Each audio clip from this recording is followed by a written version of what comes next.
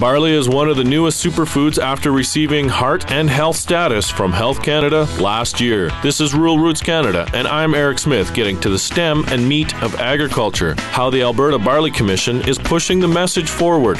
Coming up. Canadian farmers and ranchers are doing their part to help feed the world, as is everyone who works in the agri food industry. These people put their blood, sweat, and tears into this demanding lifestyle, which is quite often make or break. Rural Roots Canada follows the stories from the people at the heart of this industry.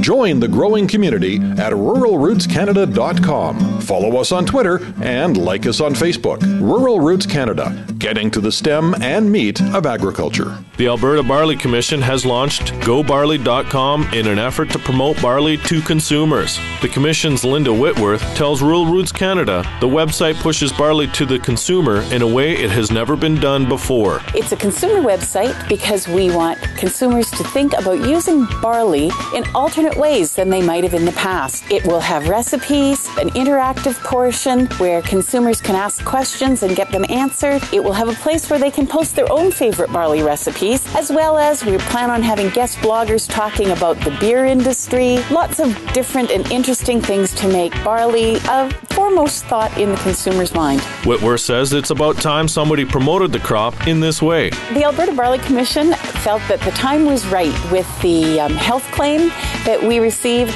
last July that barley's good for you. The time is right for people to find out a little bit more about barley.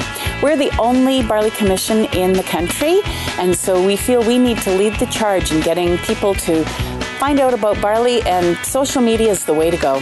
GoBarley.com will soon have features for the food service industry and teachers. For Rural Roots Canada, I'm Erik Smith getting to the stem and meat of agriculture.